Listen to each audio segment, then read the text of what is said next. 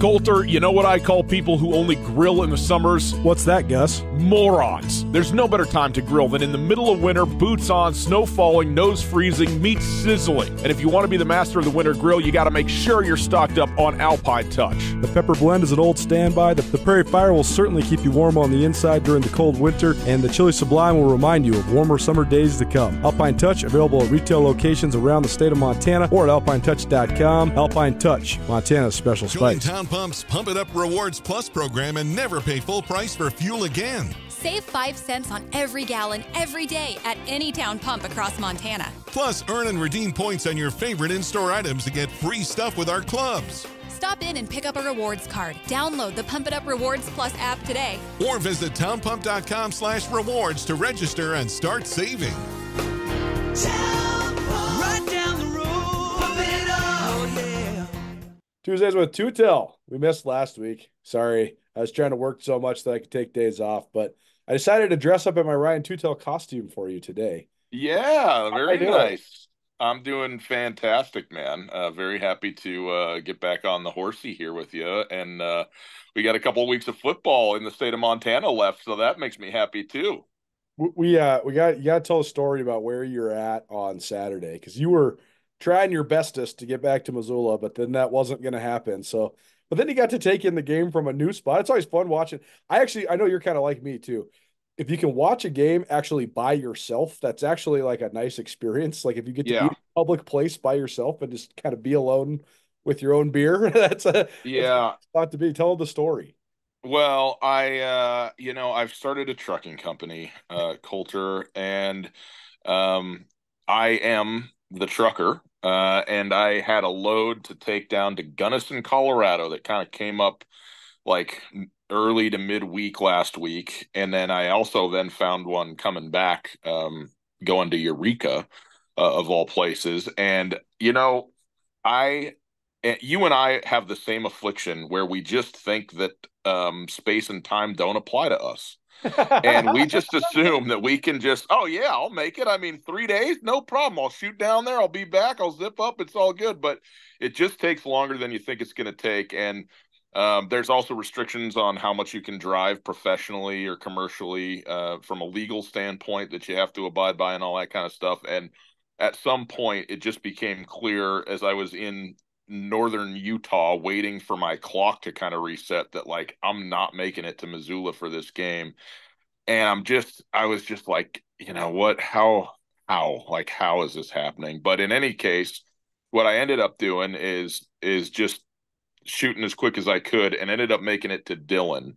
And uh I mean if you got to be in a place to watch a game, Dillon, Montana is pretty tough to beat. And you know, found a little establishment there, got myself a hamburger, fries, actually no beer because I was still on the, you know, Sure, doing the driving thing, so I had several waters uh and uh but that also kind of helped because you know, you don't like phase out details at that point either. Um and I watched the game with my mouth agape just like everybody else. I mean, it, it was just um as good as it gets. I must say, as nice as it was to watch it where I watched it, I uh, have had I've experienced a fair amount of melancholy that I was not in the building for one of the absolute all-time uh days and games in the history of the stadium the history of the program both programs honestly i mean that is an epic football game as a semifinal uh, to go to a national championship and and and what a game it was i mean just uh I, I know that you've covered a lot of this on nuanez now and so on but the back and forth 16 points in regulation for 60 minutes then no one can stop anyone in the Right. overtimes and um I mean, I'm I'm aghast. My biggest takeaway from the overtime period, uh, aside from you know, of course, the Junior Bergen experience, uh, and and and just the insanity of the touchdown that on TV, a lot of the guys couldn't even tell if the looked like the the umpire put his arms up right away, but he's kind of buried in the corner, and no one could Yeah. tell if he was actually across the pylon, but he was, and and then obviously that two point conversion, which is just, I mean, there's there's nothing to say other than just amazing. Um, but for NDSU, they ran four plays in double overtime or in two overtimes, scored two touchdowns. So half the plays they ran were for touchdowns, They were all runs right up the middle between the tackles, and it was absolutely unstoppable. And then the two point conversion that you absolutely got to have, you roll out the circus, you know, Yeah. format with your just your your How just high flying trapeze act. How And I'm just like- coaches being coaches though, right? I mean, you got two defensive minded conservative coaches that just coached 65 straight minutes worth of football where nobody wanted to make a mistake and you're totally buttoned up and conservative. And then you're like, well, we've been practicing this two point play since spring. This is the time to do it. And then you both we- well, and you know, for Montana, I do think that they needed a little something. Uh, You know, I, I don't know that they're going to run it right up the gut and For put sure. a two point conversion and, and running a wide receiver reverse pass with Junior Bergen is not, uh, all things are not created equal in that situation. That's Junior right. High school quarterback. Like the, the guy knows how to Yeah. throw football, you know? Yeah, that's right. And and and by the way, it's a play that absolutely shouldn't have worked. But obviously, it was also with a face mask, Free play. so you'd have been at the one, and then what do you do? The tush push or whatever? Who knows? But you know, it didn't get to that point. But for NDSU, they they were not they were unstoppable. They were unstoppable, and to run that play. I mean, I realize that you've I don't know, man. Like to your point, these coaches, they have this thing, they get it put together, they know that like in this moment they've predetermined kind of that they're going to do it. And sometimes that's good because you're prepared. You don't have to make a decision in the moment. You don't want to make a decision in the moment, but also like just run the dang ball up the middle and probably score two points to go to a triple overtime.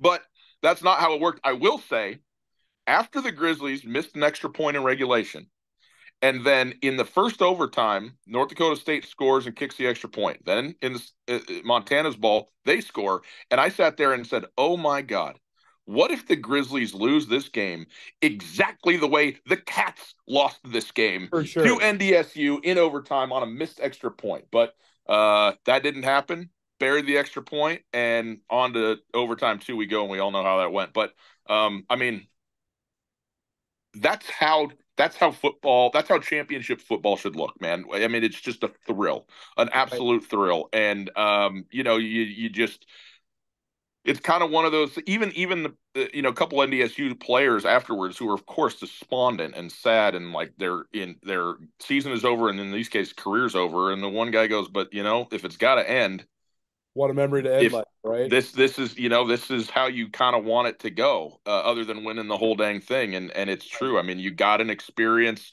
for everybody that was associated with that game players coaches fans across the board that you're going to take with you for a very long time in many cases forever. The thing that was just resounding to me two i mean twofold. One on a personal note I, I couldn't believe just sort of the bookend of my life because the the only two games that i've watched at washington grizzly stadium that are comparable are the one i watched on saturday and then 2009 versus appalachian state in the semifinals which happened to be the last time the semis were in missoula.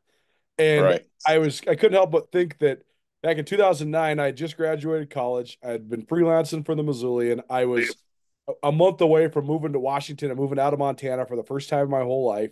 My brother was a redshirt freshman on the Griz. All my best friends were seniors on the Griz. And it was like this rite of passage. For me, I was about to go through a rite of passage, and that was like my closing of my college chapter watching that game. And now here I am 14 years later. I just got married. We're having a kid. And that was like the closing of that chapter for me. But it also Right. it was also striking to me because I couldn't help but wonder. I don't want to be too cynical about this, but my brother at one point looked up at me. We were standing. I, I fought my way down the sidelines. I was like, I can't sit in this stupid press box. I got to be on the sideline for this. So I got Yeah. down the sideline. At one point during the first overtime, Brooks looks up at me and he says, "Man, the FCS sucks. They should definitely move up." And, yeah it's like right He's like, I wish. I mean, what are we talking about? Why can't we just have this all the time? Okay, if people hated on it, saying it's just gonna be the Mondak All Star game for the rest of time, it's like, well, that's fine. If this is the games that we get, bring it on. Let's do this. let's every, go let's do this every uh, December sixteenth, right? by the way like i mean that's the nature of football in the nfl uh, two nfl teams played a football game and the final score was 70 to 20 and then Right. another one, a final score was 63 to like 21. But then you have the AFC championship between the Bills and the Chiefs, where they scored two touchdowns in 13 seconds, and you just can't believe what you're watching when Josh Allen and Patrick Mahomes. This is the nature of football, man. You get blowouts against teams that don't want to be there and aren't up to your level, even if you're in the same division, in the same conference, whatever. And then you get games that make it all worthwhile and are the whole point of what you're here to do. That's football forever and always. Enough with this, oh, what level are we at stuff. Exactly. Well, and I, I just think that we're going to see a fracturing. I don't want to go on a tangent about what that looks like, but it's very well possible that that is among, if not the last times, we will see a true showdown like that, where both Montana and North Dakota State are at the peak of their powers because we just don't know what's going to happen. And we might see several years of this or whatever, but it was also a rite of passage for the Griz. Like for Bobby Hauck to come back and say RTD and all these things, and then to have it not come to fruition whatsoever. But then for him to have it start to come to fruition and internally the belief to be so high and he's in a contract year and his son doesn't play for the team anymore. And they have this underdog group of guys that nobody believed in before the year. And then midway through the year we're sticking a fork at them and saying that they're already finished. And then to get to beat i mean if you were to name the top 10 fcs programs of all time most of them aren't in the fcs anymore. The three that are still in the fcs there's there's probably six that are still in the fcs and Montana just beat Montana State, Delaware, Furman, and North Dakota State in a row. They just beat four of the remaining top six teams in the entire subdivision in yeah. a row. Talk about a, yeah. moment for the Griz to sort of reascend, and now here they are, and uh, it's inarguable now. They are absolutely one of the nation's elite teams. You know, it it it totally is, and I, I mean, this is just maybe to highlight the point, but I I I'm not a Tom Brady fan by any stretch of the imagination. But the Buccaneers run in their Super Bowl run on the road beat Drew Brees in New Orleans. On the road beat Aaron Rodgers in right. in Lambeau. On the road, I forget who the other one is, but another just Hall of Famer that Tom Brady's just putting to bed with the Tampa Bay Buccaneers of all team of, of all teams, and then they go and they win the Super Bowl. And it's just like I just feel like that this run for for Montana at the FCS level is that that sort of thing. And now, you know, they beat they beat the historically no question best team in the history of the FCS in North Dakota State. And now they have to beat the no question best team in the FCS this year, who's like just hands down and head and shoulders better than everybody else, at least up until this point. But I think you got to say right at this at this moment in time, we got the two best teams in the country playing in the national championship, and that is exciting, and that is as it should be, and that is. And by the way, these two teams haven't played each other. I mean, you can say, "Hey, Montana State, they had their shot, you know, and didn't quite get it done." Well, now the Grizzlies are going to have their shot at at the champs in Frisco, and uh, it's it's we got a long way to go to talk about that, and we certainly will. But it is a great matchup.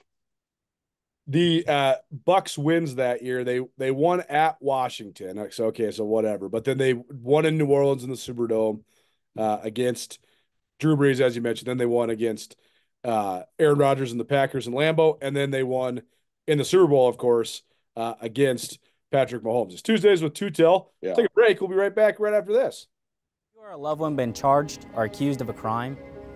If so, the stress can leave anyone feeling helpless and alone. But you don't have to be alone. Hi, I'm Dave Maldonado, and I've successfully defended Montanans for over a decade in these situations. So if you're tired of being scared, let's get you prepared. To see how, visit BigSkyDefender.com today. You are not alone. Visit BigSkyDefender.com to find out more on how you can fight back against local and federal criminal charges. Or I got to ask you about your Knicks shirt. When, when is this? You're not a Knicks fan? No, it was at Ross. It was six bucks. I needed a shirt. I bought it. Here's here's a, here's a good one for you. Tuesdays with Tootell here on SkylineSportsMT.com. I uh, they they had some something similar to this, except for it was like a, a barrage of Edmonton Eskimos or Edmonton Oilers uh, gear. Yeah, and they had like ten double XL Edmonton Oilers shirts of various varieties on sale for two dollars each. So I bought them all. I can't tell you how many. times, can't tell you how many times I got stopped in public. Oh man, big Oilers. So, Connor McDavid's the man. I'm like, yeah, dude, Connor McDavid's the man.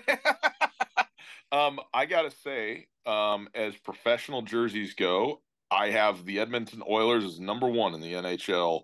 I think they're Sick. so sick. And a very similar scheme and look is also the the uh, New York Islanders, who have certain schemes that really work for me. But I think those Edmonton jerseys almost every time, no matter how they roll out, are just sick. I love them. Yeah. So um, I'm I'm on the Edmonton Oilers, and I think the best college football uniform. While we're on the subject, the Oregon State Beavers. I think Oregon Wow. State slays with their black and orange, and like when they do the cream white, oh, it's just it's so real in Yeah. in Corvallis. So too bad they're a Almost D two team. Penn- almost as good as Penn State. I knew you were gonna do this to me with the Penn State. uh, Oh back to the epic game in, in Missoula on Saturday. yeah, I do think it was fitting that the narrative coming into the game was both these teams have very similar strengths, right? Efficient, strong leader quarterbacks that maybe aren't like spectacular in the numbers, but take care of the ball. Run games that can be powerful, great defenses that that, that you can lean on, and the great special teams. And so then I thought that the narrative coming into the game of well, whoever makes the first mistake is going to be the team that loses the game. And neither team wanted to make a mistake. There was mistakes made, certainly. I mean, North Dakota State's penalties, the Griz missed kicks, both those things played a factor. Uh, but I thought that that was why maybe you had this slugfest game that then turned into this just complete bedlam down the stretch. I mean, it was like the the pot of water was about to boil, and then once they got to overtime and they had short fields, then the bo- it just started boiling over all over the place. Yeah, uh, uh, totally. And I think it, it is sort of odd the way it is. I mean, I I understand why college football has the overtimes that they have, um, and I'm not even an advocate. I used to be an advocate of just doing away with that. I just I hated it, and I still hate it in the sense of it's not football. I mean, they're they're doing football plays, but there's no clock. Right. There's no going up and down the field. It's really hard to like make a stop. It's just it isn't football. Um it is high drama. Yes. And and it is fair. Like you have to say one thing about college football is it's it's even, you know, it's as even as it can be. And in that sense it's it's a good, you know, you can you can kind of accept the outcome um as far as it goes. So uh it was but but that's what you get. I mean that's why you can have 60 minutes where you score 16 points and then eight minutes or whatever where you score 50 because i mean you know these these overtimes like this. So i mean it, yeah just just just crazy. And again two uh, uh, essentially perfectly even matched teams doing what they do on the biggest stage. The I, we just I actually just left a, a media interview with Bobby Hauck, and uh, my, one of my big questions in the game was they rolled Grant, Grant Glasgow, the freshman kicker, out there for the first kick, which was a 47 yarder, and he stroked it.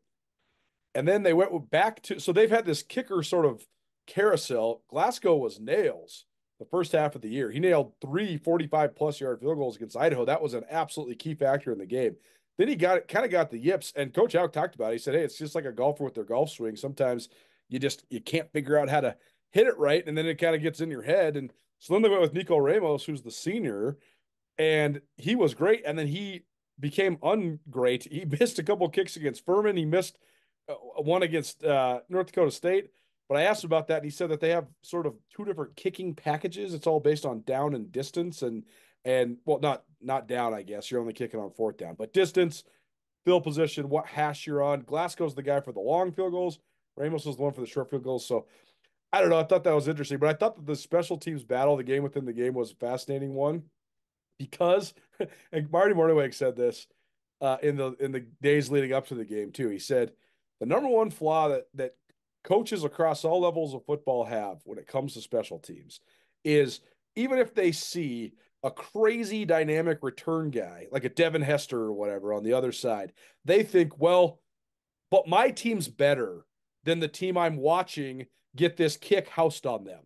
And he said it all week. He said, North Dakota State's got to accept that it doesn't matter, man. You're not better. You have to not kick it to Junior Bergen. Well, it was clear that North Dakota State's game plan was, well, we're going to angle punt it to the North Dakota State sideline so that they can't get he can't get back to the the Griz sideline return, which he loves so much.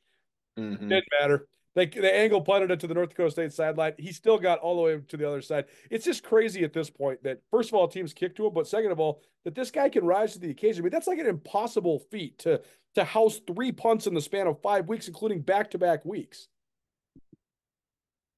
Yes, it is. I mean, I, I I don't I don't know what to say to say. Um, Bobby Howe very understatedly said he's got a knack for it.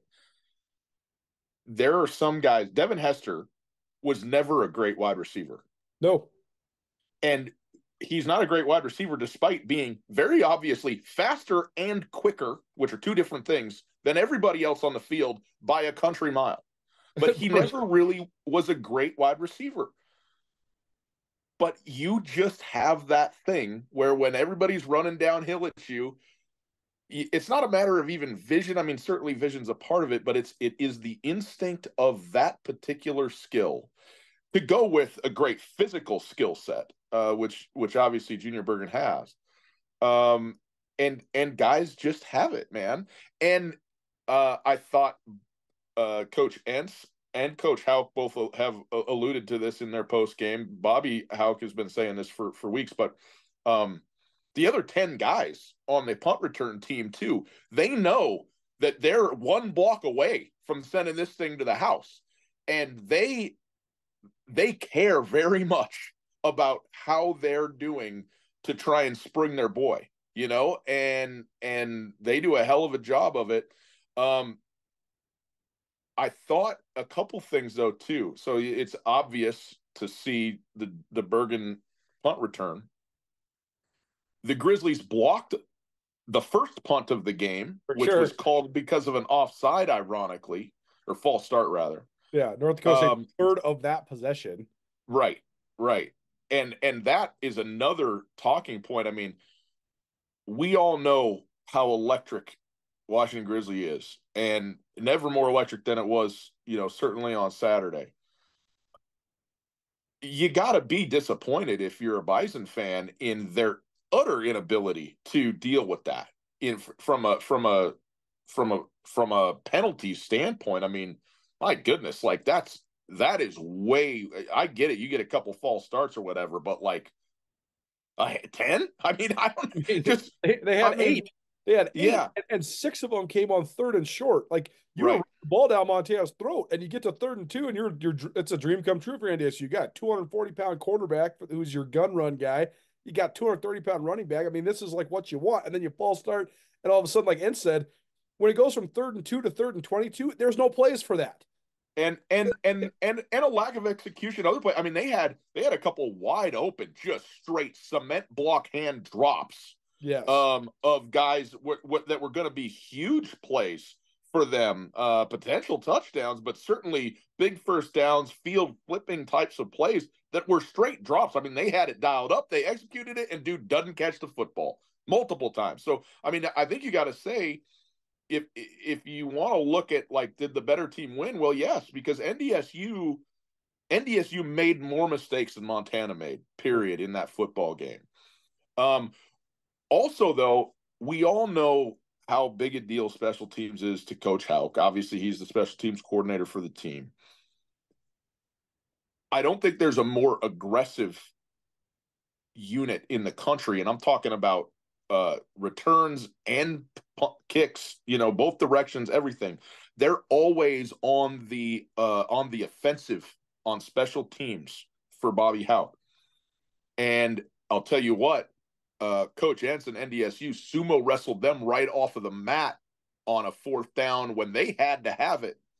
And the they set up Montana to try and come and get after the punt on the left side, on the left side of on Montana's left, so the right side of of the kicking team's uh, sideline. They they pre-snapped it to get the shift to happen. They got everything they wanted out of Montana, and the Grizzlies were coming after that kick, and they straight fake faked the kick and ran it around the left side, and there was nobody home. And the that's a moment where you go, There's three minutes left in the game. You're up a touchdown. Get the football back. Don't even put a kick. Just play straight up 11 man defense in the base D personnel and make sure they kick this football away.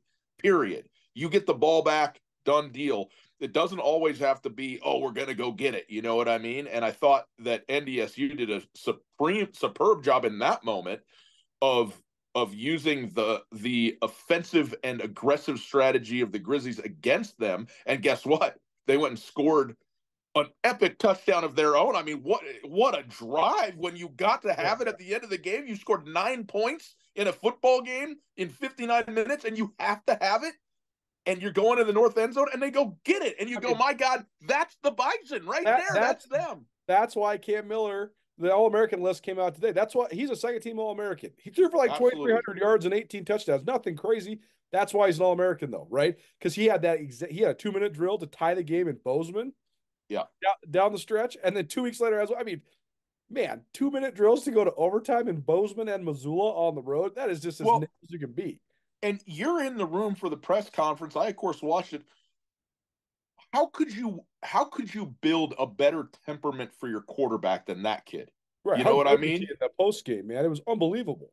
Unbelievable. Phenomenal. I mean, and and you just see that like that's that's why they've won, you know, nine, ten national championships. That's why they are the standard of the class. And and it's it's everything that goes into it, but it's also the type of person of the type of guy that you get there and how they what they develop into you know? You it, it's it's it's program level. It's bedrock level man. It really is at Blackfoot Communications, our mission is to connect people, businesses, and communities, bringing a world class fiber network to homes, communities, and businesses of all sizes ensures Montanans have access to fast, reliable, and secure internet and phone services. Are you ready for fiber internet? To find out if fiber is coming to your area, visit goblackfoot.com slash ready for fiber. Connect to more with Blackfoot Communications. I want to go back to Junior Bergen for a minute because yes, you're right. A lot of the supreme kick returners are guys that maybe that is their their their special talent and their skill, and he absolutely has a special gift for it. He also has just a gift for football. Yeah. I mean, how often do you see the the 47 yard punt return touchdown and end with the guy dragging two tacklers into the end zone? or like the touchdown he scored in overtime. He straight trucked two NDSU guys. I mean, this guy weighs 175 pounds. I mean, he's he's 5'10, 175, and he he he's been an outstanding running back. He can throw the ball. He's the, uh, one of the best slot receivers in the country. And oh, by the way, he's the best punt returner and the best kick returner in all of the FCS. His diversity of skills is just so impressive. And both the overtime touchdown that he scored and obviously the punt return easily those could have both been stopped a yard or two sure. short. It is such a big deal that he got those home. You don't want to be first and goal on the two against North Dakota State, man. You just against anybody, but you right. just like when you got the chance, when it's right there, you got to get that thing in because there's just too much that just that's that you know you give it to Nick Ostmo and you think, oh well, of course he's going to get there. Well, mm, not so fast. And by the way, the same thing happened for NDSU. They were sitting there right on the one yard line and had a full start. And so you you you know you just just score like when this when that happens. And some guys have that nose, have that ability to say, okay, there's the pylon, I'm gonna get it. And Junior Bergen is absolutely that. All right, I was gonna ask you this, and uh, so now we're here to this point. So yeah, I have a whole bunch of different reasons, but I want to know your reasons. Give me the top three reasons why Montana has been able to reach this point in the season and go back to the national championship game? Um, I'm gonna give you four because I can't not include Junior Bergen as. Sure. I mean, just Bobby Hauck said. I mean, without Junior Bergen, the last two weeks, two weeks, we don't win either of these football games. You know, and it's all over. So, so I'm putting at four Junior Bergen. Okay, at three, taking the season as a whole and this run, I'm I'm gonna say Clifton McDowell. Um, the steadying force initially and then the just outstanding play at times. I don't think you would say that that Clifton McDowell on Saturday was was at such a high level that he was the reason that Montana won. But I think you got to say that over the course of a season, he has been an outstanding quarterback for this team. He a, a team that was going in the absolute wrong direction. Um, he came in and was the very obvious and singular change uh, personnel wise that made that that that steadied the whole ship. And then he even has been uh, ascended to a point where he's played a couple elite football games. Um, he hasn't played elite game in and game out, but he has been he has been solid at worst, and when he's been at his best, I mean, he is a problem out there. Uh, both and and dual threat. I mean, again, sometimes in the FCS, you get a guy of the stature of a Clifton McDowell who's six four and 220 or whatever he is, and he can run over everything, but can't throw the ball a lick. But Clifton McDowell, he is he has really turned me in terms of belief of him as a passer. I think he's done a phenomenal job delivering the football uh, at times, both downfield and also it's in spots in the short and intermediate passing game as well. And is he the greatest reader and all that kind of stuff? I don't know. I guess I I wouldn't even be I wouldn't attempt to ask, to answer that question. But here's what I do know: he's got great instincts and he can extend plays. And his ability to move around and find guys and then deliver the ball or just take off when when he wants to call his own number um, has made all the difference in the world for this Grizzly football team. So I, I have him very high on the reason that this Montana football team has gotten to this point. Well, he also, because he does, dual threats are in vogue in college football right now. He's a different than a dual threat guy though because he can run it, but he's a power back. Like he mm. he's not. He's like Cam. Newton kind of. I mean, he, he's not that fast. He really isn't that right. fast. Like he doesn't really like get to the edge that fast. But right. when big boy gets rumbling, he'll truck your ass. So yeah, you know, he will. And and so, but you all, you do have to have a little. He also is, has his most underrated skill is his improvisational skills, and that's right. where Brent Pease and and Bobby Hauck deserve so much credit. Yep, their willingness to let quarterbacks improvise have been what non-existent in the in their time until this year, and then they figured out, hey, this kid, okay, let's give him one read, and then maybe two. You know, we'll give him the the short side reads, and then that does work. Hey, roll to this side until one of these guys comes roll roll it over uh, across the middle. Like against Idaho, all they were really doing was playing playground football. They were just rolling McDowell out right and left, and oh, when one guy comes open, fire it. There it is. So, but you know, one thing I uh, Matt, one thing talk, Matt Entz talked about how that was such a huge part. They saw that improvisational ability.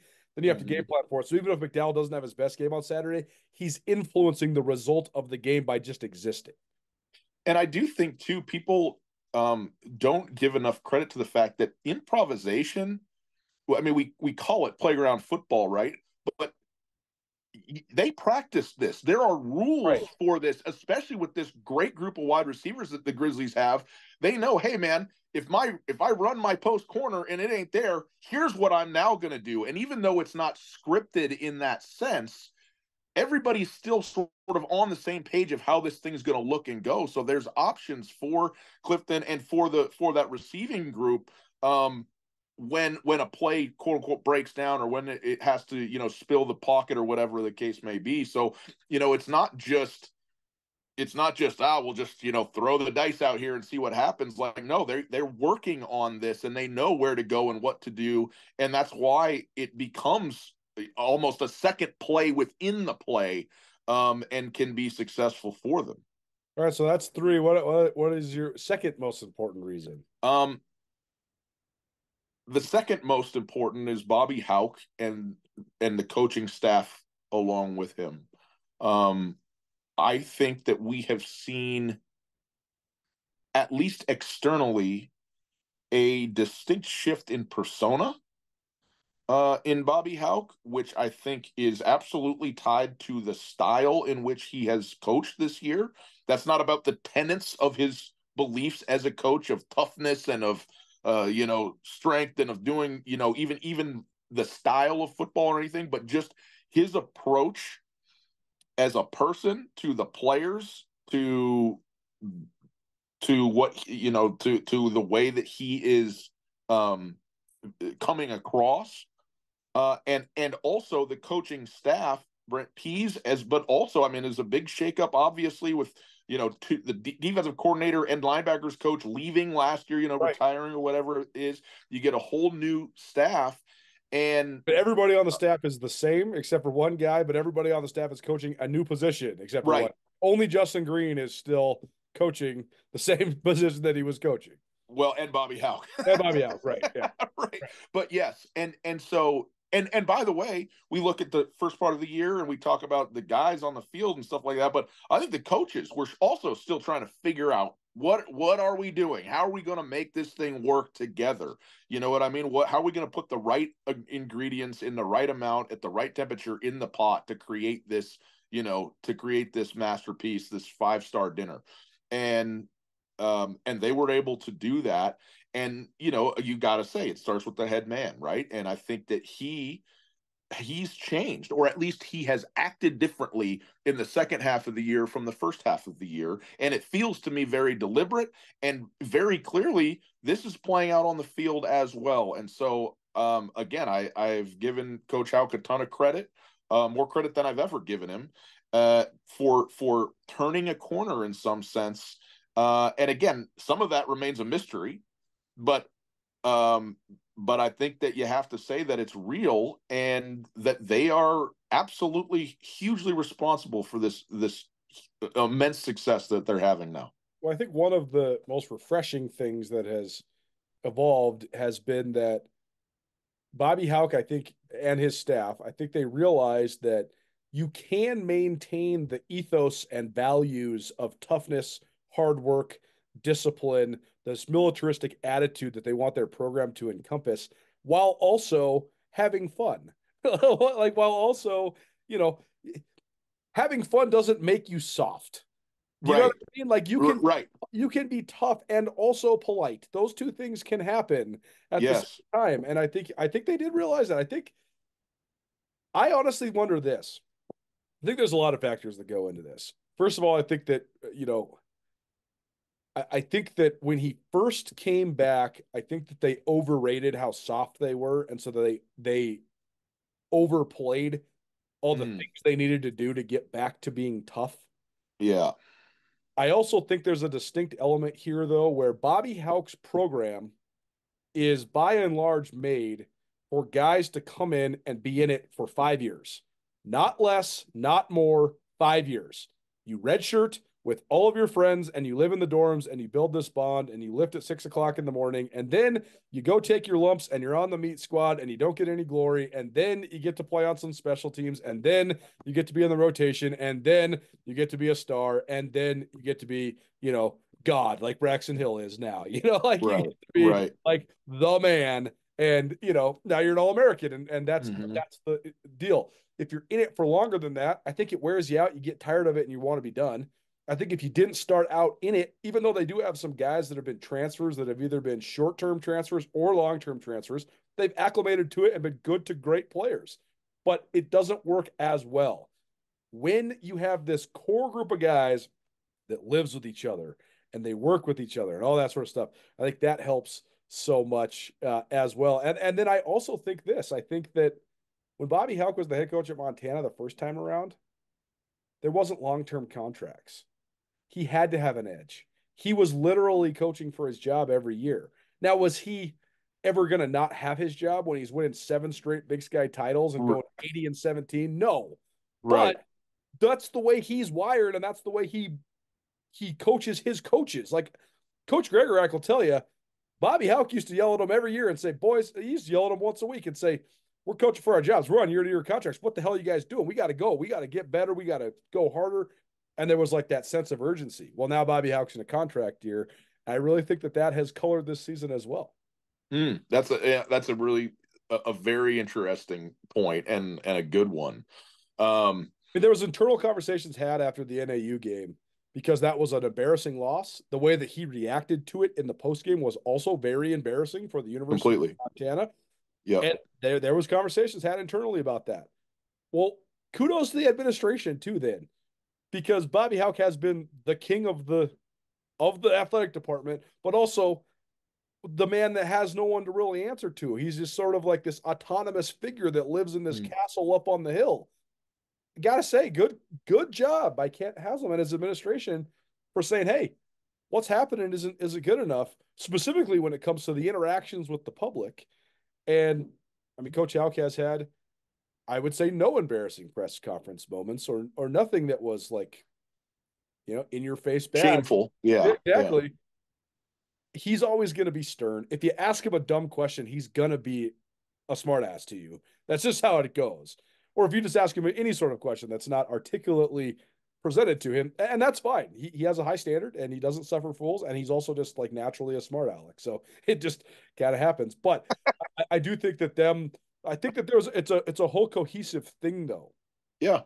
I really do think that and look at it now. I think the athletic department, the like the the symbiosis of the environment was was not good a, a couple for a couple years there. And you look at it, you know, the all sports trophies. You got, I mean, the women's sports at Montana finished last in the Big Sky. How? How does that happen? How do you finish dead last? Should never happen. But now Lady Grizz are better. The soccer team even was like the the crown jewel of the deal, and then they like finished sixth last year. Well, then they get back on the horse and they they win the Big Sky here. Everything's yeah. going better. The track is going better, and then yeah. football setting the pace now it it pushes everything forward. So I do think they deserve credit as an athletic department for all that as well. Yeah, no doubt. You know, um, on that on that note, Kent Haslam, as we know, and he said to us explicitly being in front of the camera, being behind the microphone. It's not it's not his forte. It's not what he he wants to do. And part of that is as an administrator, he really actually wants the glory and the praise to go to the coaches and the players in the departments and the teams. So he he's not out there he's he's deliberately not out there trying to get attention for himself. That said, he probably deserves which you've given him, but he probably deserves even more credit than that. But it's all stuff that we are not privy to, and and in a sense, that's probably a good thing at a certain level. Like you'd much rather w- want that sort of innate humility in in an athletic director than a guy who it's all you know got to be about me you know and it's you know look at look at how good i've done but that said um i think he could help himself out a little bit too by you know identifying hey man this is this is where we are at and this is what we had to do you know what i mean? And and and that sort of thing to acknowledge the hard work that it has been as a department as an entire you know athletic uh, uh, uh department top down to do what has now happened especially in the football program and on the field. So you know again kudos kudos to the whole crew there. I mean you can't you, you don't go to national championships on an island man you just don't do it and so uh, it's uh, you hear people talk all the time the alignment between a president an ad a coach got to be there and um, not knowing the realities of all of that uh, which we don't and, and may never um, it certainly is working out where it looks it's reflecting well on everybody right now, right? It's just reflecting well on everybody. I mean, even the even the basketball team's got the Grizz fever. Like last time I talked to Travis DeCuire, he was like, "Man, how about the community? The community's a buzz with football." You know, he's yeah. like, I was talking to the lady at the Safeway. She's never been to a Grizz game. She's like, I'm gonna buy her some tickets and go g- deliver them to her. Get her to the Grizz game. She's never been to one. I'm like, that's awesome. You should do that for sure. Join Town Pump's Pump It Up Rewards Plus program and never pay full price for fuel again. Save five cents on every gallon every day at any town pump across Montana. Plus, earn and redeem points on your favorite in-store items to get free stuff with our clubs. Stop in and pick up a rewards card. Download the Pump It Up Rewards Plus app today. Or visit townpump.com slash rewards to register and start saving. Right down the road. Pump it up. Oh, yeah. Sure. All right, so number one thing then, what do you think is the number one determining factor? Yeah. Montana's going to Frisco. I mean, it's it's the easiest thing in the world to say, but I hope to have a little more a little more specificity. But it's the players. And you kind of highlighted, hey, you got to be here five years. You come in as this group, and then you, you know, you advance through the stages of development of Grizz football. Um, but all those, you know, every kid in that press conference on on Saturday, what do they say? Well, I was just a walk on. I didn't know if I was ever going to have a chance. I didn't know that I'd ever get you know, get an opportunity. And now here, you know, here they are, the stars of the game: Keelan White, Junior Bergen, Braxton Hill. Um, there was a moment at NAU where it looked like we had a mutiny on our hands. And it looked like some really good players didn't want to play. And it looked like a bunch of other players who maybe aren't even as good were maybe going to follow that lead to some extent. The players have to decide what they're going to be about. The dudes yeah, you know, you get this thing where you're a college football player. There's some level of indoctrination that happens at every program, like, you know, the things that we believe in and the brotherhood and the thing. But like at some point, you as a player and then you as a group of players have to decide what you're going to be about. And these these players, these young men made a decision and I got to think that it was a a, a, deliberate decision. You know, it wasn't some sometimes things just sort of innately happen or whatever. I think this had to have have a full conversation coming out of NAU and going forward. Who are we going to be? How are we going to represent ourselves? How are we going to represent this university, this program, the history of the players that have been here before us? I think you hear a lot of guys on the team who've talked regularly this season about groups of players that have preceded them and wanting to be the next in that lineage, right? So, so how about this? You and I did, well, even this year, still did several college game days together this year, but we did ESPN yeah. College Game Day for six years together there at the base of the walking bridge. And you see all the people that are going into the game, pouring into the game. And we would see former players from time to time, particularly the ones that just live around Missoula. You know, the Dylan McFarlands and Shane McIntyres of the world, like those guys, they live, they're you know, they're attorneys in town and, you know, okay. But the last month or six since the cat game, I'd actually since the Sac State game, I have seen that number of guys that were all-time great players increase tenfold. And I've seen the return of guys who I have not laid eyes on one time in a decade plus that have been back. I have seen Trumaine Johnson since he graduated from the University of Montana. He was back at the cat game. I think he was at this last game too, right? And that's just one of many, many guys. Like, I mean, well, while we were doing college game day, we were just doing. I mean, everybody was coming over and saying hi. We were just doing shout out after shout out, just name dropping. Yeah, Keenan Curran, Jamal raising right. the flag, right? Exactly, right? Yeah, I mean, yeah. So, I I do think there's an element there though too because I think that the way this team plays reminds those guys of the way they played. It's about yes. what it used to be about for yes. the first time in so long. Yes. And to to get to even dial in a little bit more in terms of the players, explicitly the defense, man. Like you see this with this group of guys who I think you said so well, like 99 is a 99 on Madden, right? Governor is he's just he's a ferocious beast and he is a game wrecking type of player and you got to have a dude like that somewhere and he just happens to be the nose. And then you got 10 guys who are all 86s to 90s on their madden rating but they all go so hard and they rotate through their I, I think again credit to the coaching staff there's so much fresh um you know they they almost it's almost like a hockey kind of uh, line changes that they do running guys in both on the on the lines and in the uh, the the linebacker spots. And they they play for each other. They play they look like they're having fun. You know it's so like a lot of guys playing football look like they're having uh Tourette's or something like some sort of like weird like dude are you are you okay you know? And obviously you have to be a little bit mental to play football man. Like you really do. It's it's that type of game. But also like they're about it. They're about each other. It comes through when they're playing. And i think this defense um you know again having a no star really kind of system has lent itself to being one of the top units in the country. And and it ha- and it has improved so drastically. I mean, again, the this team, I have never seen a Grizzly team get better week over week at a higher rate than what this team has done.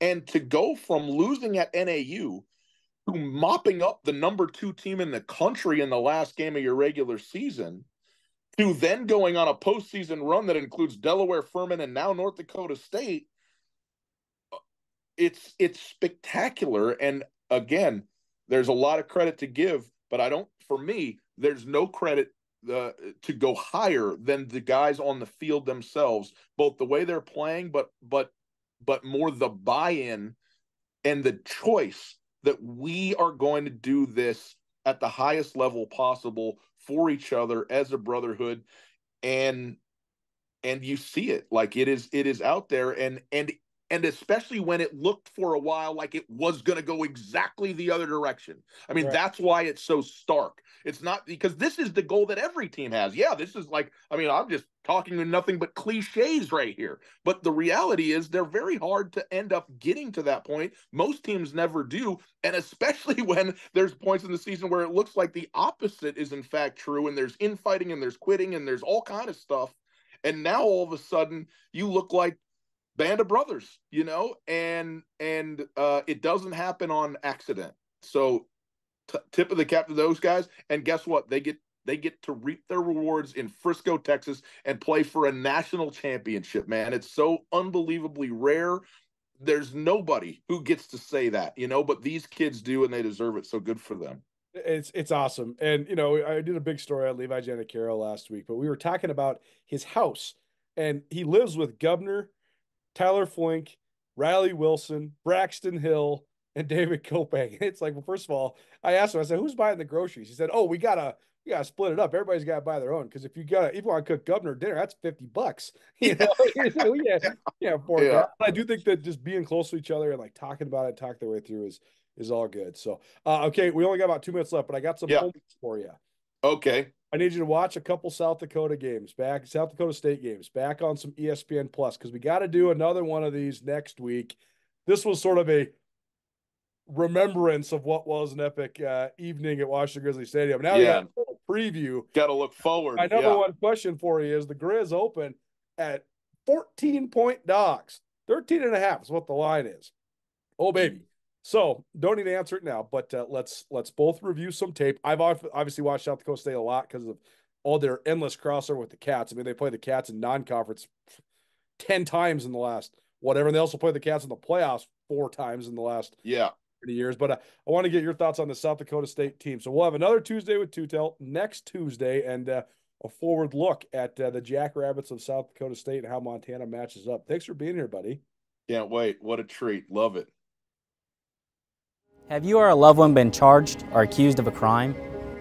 If so, the stress can leave anyone feeling helpless and alone. But you don't have to be alone. Hi, I'm Dave Maldonado, and I've successfully defended Montanans for over a decade in these situations.